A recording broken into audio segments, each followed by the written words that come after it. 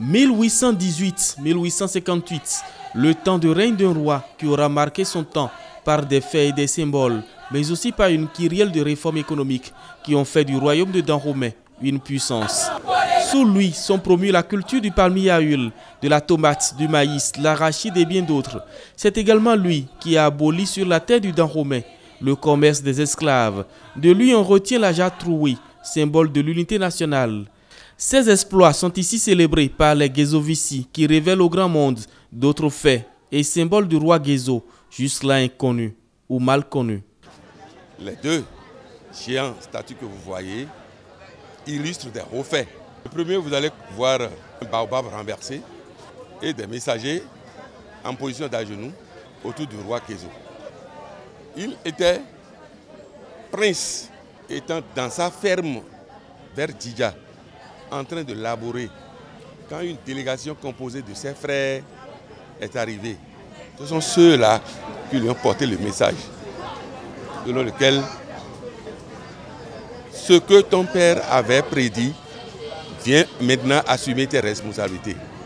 Il dit, mais qu'est-ce qui réussit tant Ces frères-là lui ont dit que à l'heure où je te parle, ta mère n'est plus à abommer ta maman est déjà vendue dans le lot des esclaves euh, qu'on a envoyés à Brésil. ma mère, vexée, il prend la roue et donne un coup sec au baobab qui s'est renversé. Et c'était, c'est pour exprimer sa colère. Et enfant dit, à là. Le deuxième monument illustre son nom fort, Tugbeto Inglano, un nom qu'il s'est donné lui-même après avoir arraché la mâchoire, les mains nues à un bœuf mystique venu d'Oyo. Une fierté pour les Gezovici, qui en rappelle à la mémoire collective. Les adeptes de Zomandonou, de la lignée de Dada Gezo, se sont réunis dans un creuset qui leur permet, chaque fois qu'il y en a un événement royal, de marquer leur présence et tout leur attachement à leur identité. L'acte qu'ont ainsi posé les Gezovici les honore à plus d'un titre et nous rappelle leur grand attachement aux us et coutumes du Dahomey. La commémoration du bicentenaire du sacre du roi Gezo demeure le plus grand événement de l'année.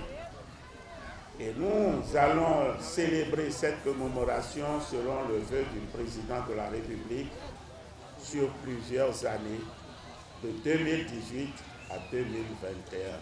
40 ans de règne sur le trône de Dahomey, le roi Gezo a marqué son temps. 200 ans plus tard, après son sacre, il est célébré. Le palais royal de Ronli s'y affaire.